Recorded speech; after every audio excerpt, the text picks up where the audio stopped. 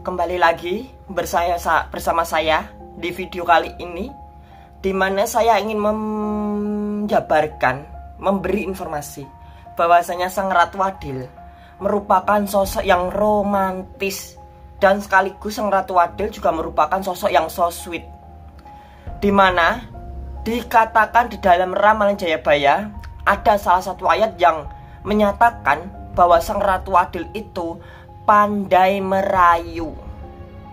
Sang Ratu Adil itu pandai merayu.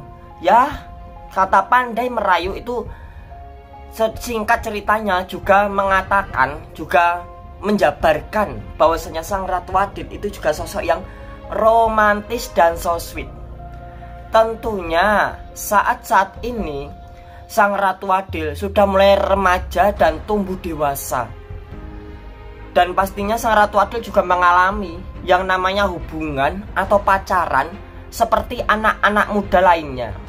Ya pastinya juga mengalami yang namanya pacaran, terus uh, putus, nyambung, putus lagi, nyambung lagi, ganti pasangan lagi. Mungkin itu juga dia alami.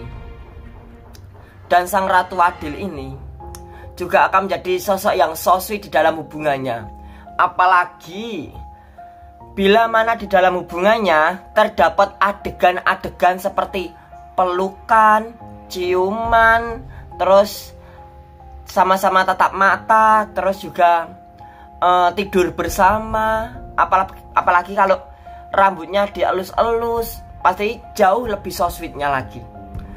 Dan apalagi juga beruntung loh bagi pacar Ratu Adil.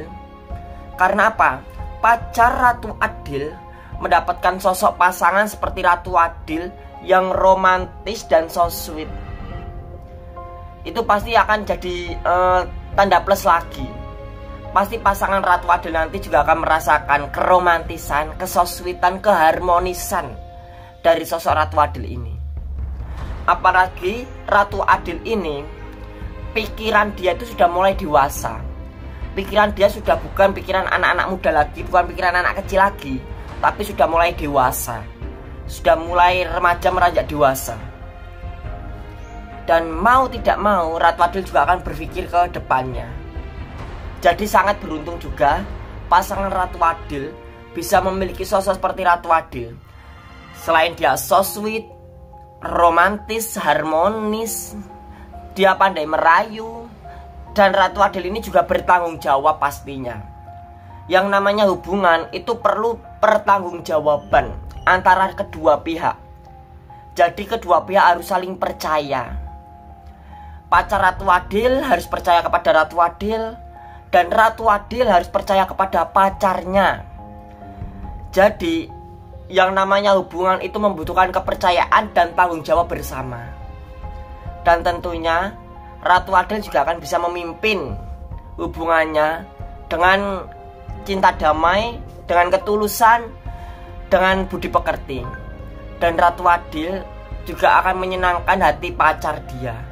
Itu kilasan mengenai sosok Ratu Adil yang merupakan sosok yang romantis dan so sweet. Bila kalian juga merupakan orang yang romantis dan so sweet seperti Ratu Adil, jangan lupa like dan subscribe video ini. Nyalakan juga lonceng notifikasinya supaya kamu tidak ketinggalan video terbaru dari channel ini. Dan dapatkan manfaat-manfaat dan hiburan dari channel ini. Berikan juga pendapat kamu mengenai video ini dan mengenai Ratu Adil. Apa pendapat kamu mengenai video ini? Pendapat kamu mengenai saya dan pendapat kamu mengenai Ratu Adil. Letakkan pendapat kamu di kolom komentar dan terima kasih sudah menonton sampai habis.